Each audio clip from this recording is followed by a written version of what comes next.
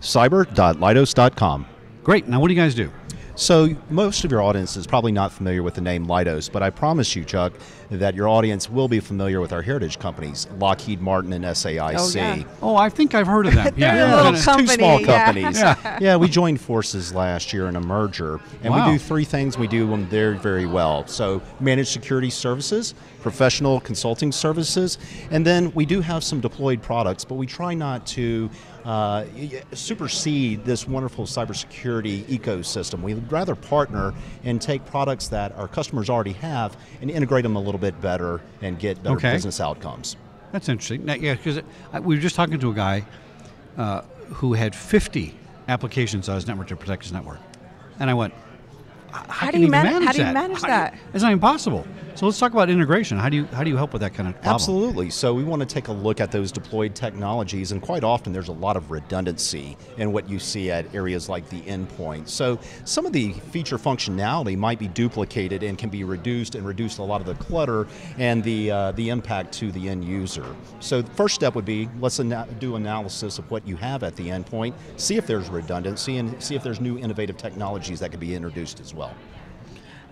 That's awesome. I mean, often, oftentimes you're finding that there's a really uh, constraint on resources, skilled cyber experts, and that's something that Leidos kind of provides, right? Absolutely. So, our heritage in defense, the government, and the intelligence community, we've developed a strong trade craft that we've now brought to commercial markets. And you're right, quite often we run across the talent shortage out there. I think Yeah. the latest statistic I read is that we're going to be, what, 2 million uh, cyber warriors million. short here I in know. the next few years. Yeah. So, quite often we can reach into our pool of talent, many of that talent coming off of military duty, and introduce them into commercial markets. Well, not only military duty and that kind of expertise, I'm, I'm kind of familiar with uh, with Leidos here. So let's talk about th- what you guys are doing around critical infrastructure. It's a topic that no one's talking too much about No, here, they're which not. I'm I- really I surprised. think it should be is the number one securing topic. The critical infrastructure, especially being in the Gulf Coast region. Absolutely. So, Sharice, you're, you're very familiar with our background here. Uh, this whole world of OT security, so your industrial control systems,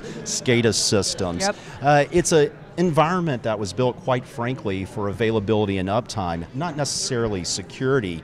And security has been an afterthought uh, all of these years. So i think at this point enterprise it security is becoming very mature and the next cyber warfare front is on the ot side of the house. So we're doing some consulting in those areas making boards of directors and senior executives aware of the challenges in these environments and then providing solutions that provide persistent access and monitoring capabilities to the security and change management configuration. Now, you know, you know why I like this? Mm-hmm. Because it's military guys and military defense builders bringing their attitude to the table. That's a whole different Chuck's game. all about attitude. No, it's true. Because you can say you're in charge of this. If you don't just love it and live it and are It's a excited about it, mindset. it's a It's mindset. definitely a mindset. And you can be defeated by your mindset. You can have the best defense in the world, and the mindset's going to kill you. What's the best airplane ever made? The SR 71 Blackbird, absolutely. Well, that's the second the best F one. 35, of course. The first one is an A-10 Warthog absolutely. because you can't shoot it down.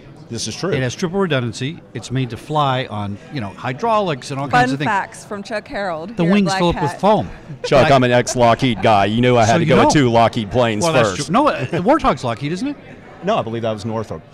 I apologize. it's still the best plane in the world. Good but catch. it's about redundancy, right? They're saying now, who wouldn't build a plane that doesn't get shot down? Well, because why do we build networks for, for resiliency, speed, ease of use, right? We don't build it for defense, Right. And we build airplanes to go 1,000 miles an hour, then it runs out of gas and crashes.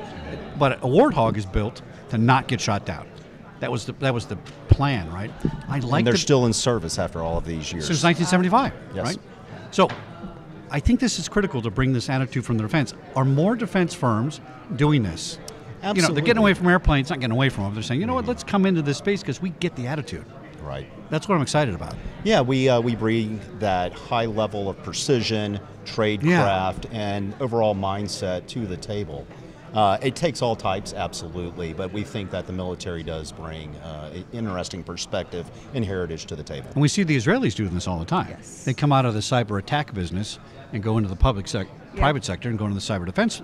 And I'm hoping our guys are doing more of that in- in the Absolutely. U.S. Excellent, good. Absolutely. All right, sorry about that. I just had to get that out. No, that, that's absolutely okay. Um, you know, we've talked about the services, talked about the capabilities and the expertise. Let's talk about some of the product lines that maybe you want to go ahead and let the audience know that's kind of like up and coming with Leidos offering. Sure. So, two of the things that we're really focused on at this year's Black Hat, uh, first of all, our area of managed security services. Now, that arena has been around for almost 20 years. At Leidos, it's been a part of our business for 17 years. With that being said, we're making an evolution into the managed detection and response category.